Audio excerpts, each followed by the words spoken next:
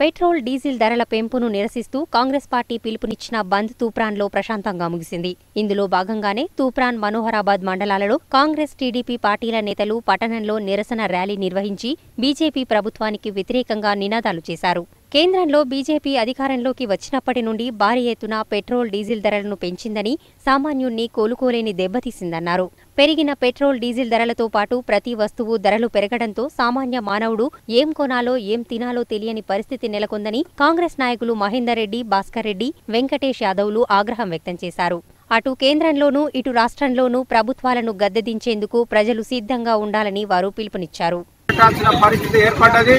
మరి ఇక్కడ టీఆర్ఎస్ ప్రభుత్వం ఇచ్చినటువంటి ఏ ఒక్క హామీ కూడా నెరవేర్చలేదు వాళ్ళు పెట్టిన మేనిఫెస్టోలో డబుల్ బెడ్రూమ్ ఇల్లు అయితేమి దళితులకు మూడు ఎకరాల భూమి అయితేమి మైనార్టీలకు ట్వెల్వ్ పర్సెంట్ అయితేమి మరి ఎస్టీలకు టెన్ పర్సెంట్ అయితేమి విద్యార్థులకు ఫీజు రీంబర్స్మెంట్ విషయంలో కానీ ఏ ఒక్క హామీ నెరవేర్చలేదు కాబట్టి మరి అక్కడ కేంద్రంలో నరేంద్ర మోడీని గద్దెదించాల్సిన అవసరము ఉన్నది.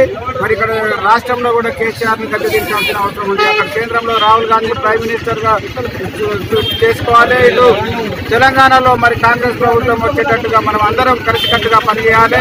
తూప్రాన్ మండలంలో వివిధ గ్రామాలకు వచ్చినటువంటి కాంగ్రెస్ పార్టీ కార్యకర్తలకు హృదయపూర్వక నమస్కారాలు తెలియజేస్తున్నాం. బంధు చేయక తప్పదని కాంగ్రెస్ పార్టీ నిర్ణయానికి వచ్చి డీజిల్ మీద పెట్రోల్ మీద ఈరోజు దేశంలో బలహీన బడుగు బలహీన వర్గాల మీద మధ్యతరగతి కుటుంబాల మీద ఎంతో భారం పడుతుంది ఈరోజు నువ్వు. కాంగ్రెస్ ప్రభుత్వంలో నాలుగేళ్ళ క్రితము ఈ దేశంలో డీజిల్ పెట్రోల్ ధరలు యాభై యాభై ఐదు రూపాయలకున్న డీజిల్ ఈరోజు తొంభై రూపాయలకు వచ్చిందంటే ఈ దేశం ఎటుపోతుంది ఈ బీజేపీ ప్రభుత్వం ఈ నరేంద్ర మోడీ దేశంలో బడుగు బలహీన వర్గాలను ఇంకా కృషించేటట్టు చేస్తూ దేశ ప్రజాస్వామ్యాన్ని నాశనం చేస్తుంది కనుక అందరం కలిసికట్టుగా ఈరోజు బీజేపీ ప్రభుత్వాన్ని దించాలంటే ప్రజలారా మీరు ఒక్కసారి ముందుకు రండి.